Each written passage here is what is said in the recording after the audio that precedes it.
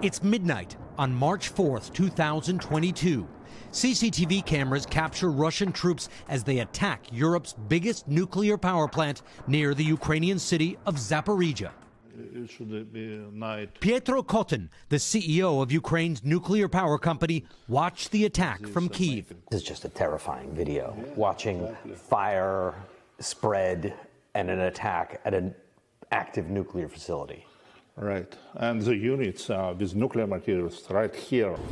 The Ukrainians broadcast warnings, telling Russian troops to stop shelling at the risk of a nuclear disaster. The warnings went unheeded. Russian troops occupied the plant and the territory around it. Ukrainian forces held on to the far bank of the Dnieper River, leaving the nuclear power station right on the front line.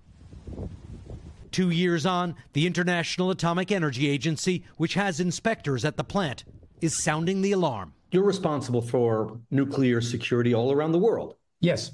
Is this the most dangerous nuclear facility on the planet right now? It's the most dangerous situation that we have. It's my job not to, uh, you know, sow panic, but at the same time, I have to tell the truth of what is happening. Nuclear experts point to three main dangers. First, a military strike on the plant, either accidental or deliberate. Second, a power cut. The plant's six uranium reactors require electricity for cooling, but Ukrainian officials say three of the four power lines are damaged, and the fourth is faulty. There have already been eight blackouts as recently as December. When you have a blackout, the cooling function of the reactors is lost, and you could have a, a meltdown. And finally, it's understaffed. Ukrainians say the Russians have been abusing employees. 11,000 people worked at the plant before, only 4,000 work there now. In Moscow. Irina uh, Kokot is responsible for radiation detection for the Ukrainian government.